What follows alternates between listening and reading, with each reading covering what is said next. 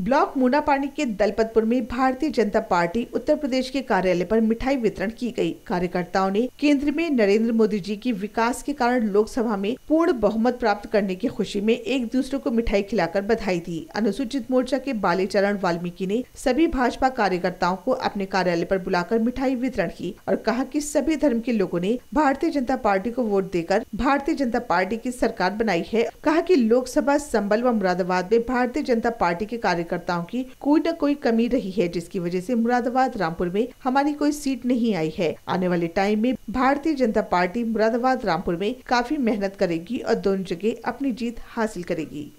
पे कहीं ना कहीं हमारे कार्यकर्ताओं की या हमारी कहीं ना कोई त्रुटि रही है। हम इस विषय पे आपसी बैठक बुला के, कार्यकर्ताओं की बैठक बुला के, हमारे सीनियर नेता इस पर चर्चा करेंगे मनन करेंगे और यदि कोई कमी हमसे हुई है उस कमी को दूर करेंगे। और अगले चुनावों में एक साथ मिलकर सभी उन्हें मेहनत करेंगे और आगामी चुनावों में उन्हें हम अपने सांसद हर एक सांसद को अपने पूरे जिताने का प्रयास करेंगे। अच्छा कौन कौन लोग मौजूद हैं यहाँ पर आज?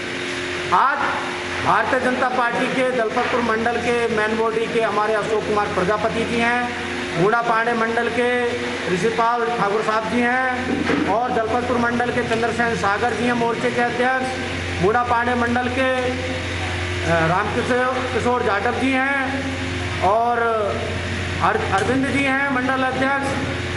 और सभी हमारे ज़िले के जिला उपाध्यक्ष पंकज जाटव जी हैं। और दलवीर जी हैं, जिला मंत्री जी, और सभी कार्यकर्ता हैं, बहुत सारे कार्यकर्ता इस खुशी में शिरकत करने के लिए यहाँ उपस्थित हैं, जो आपके सब कैमरे में